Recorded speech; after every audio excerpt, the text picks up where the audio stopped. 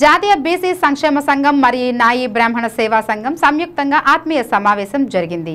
ఈ సమావేశంలో విశ్వకర్మ యోజన అవగాహన కార్యక్రమానికి జిల్లా నైపుణ్య అభివృద్ధి సంస్థ అధికారి డిఎస్డిఓ ఘంటా సుధాకర్ విచ్చేసి పదిహేడవ తారీఖు దేశంలో ప్రారంభమవబోతున్న సందర్భంగా పద్దెనిమిది రకాల చేతి వృత్తిదారులు ఉపయోగపడే కార్యక్రమం ట్రైనింగ్తో పాటు టైఫండ్ ఇస్తూ అనంతరం తక్కువ వడ్డీకి రుణం ఇవ్వడం జరుగుతుందని విధి విధానాలు తెలియజేశారు ఈ సందర్భంగా జాతీయ బీసీ సంక్షేమ సంఘం నగర అధ్యక్షులు రాజగోపాలాచారి మాట్లాడుతూ ఈ అవకాశం కావాల్సిన వారు రాష్ట్ర ప్రభుత్వం కూడా గ్రామ సచివాలయం నందు రిజిస్ట్రేషన్ చేసే విధానం ఏర్పాటు చేశారని అలాగే బీసీ వృత్తిదారులు గ్రామ సచివాలయం నందు రిజిస్ట్రేషన్ చేయించుకోవాలని పిలుపునిచ్చారు.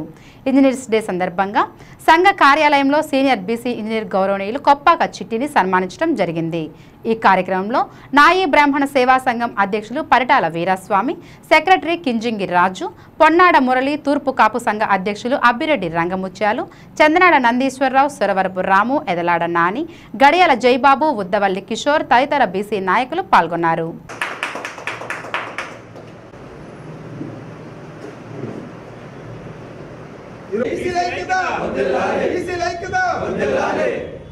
ఏబీసీ ఏబీసీ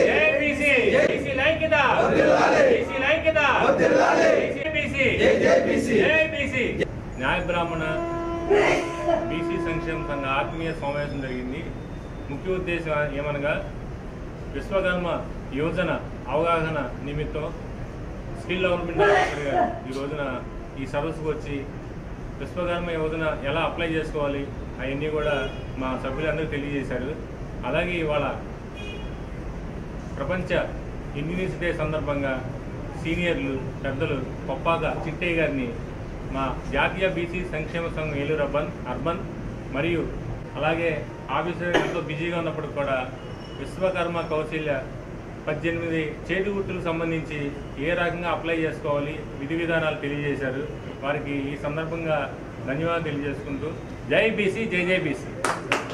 ఆంధ్రప్రదేశ్ ప్రభుత్వం ఏపీఎస్ఎస్డిసి ద్వారా పిఎం విశ్వకర్మ యోజనకు సంబంధించి కేంద్ర ప్రభుత్వము ఆంధ్రప్రదేశ్ ప్రభుత్వము సంయుక్తంగా రాష్ట్రంలో ఉన్న వివిధ చేతి వృత్తుల వారికి ముఖ్యంగా పద్దెనిమిది చేతుల వృత్తుల వారికి ఆర్థిక సహకారం అందిస్తూ వాళ్ళ వికాసానికి ఆర్థిక వికాసానికి పాటుపడడానికి ఏపీఎస్ఎస్డిసి ద్వారా ఆంధ్రప్రదేశ్ ప్రభుత్వం కృషి చేస్తుందని చెప్పేసి డిఎస్డిఓగా ఈ విషయాన్ని కూలంకషంగా అందరూ అర్థం చేసుకొని మేలు పొందాలని అందరికీ తెలియజేస్తూ నమస్తే. రిటైర్మెంట్. తర్వాత ఇప్పుడు నాలుగు సంవత్సరాలు అవుతుంది. ఆయన ఎన్నో కార్యక్రమాలు చేసి ఇప్పటికీ కూడా మాలాంటి వ్యక్తులకు మంచి సందేశాన్ని ఆయన తెలియపరుస్తుంటారు. వారికి కూడా మాకు నాయ సేవా సంఘం తరఫున ప్రత్యేకమైనటువంటి ధన్యవాదములు.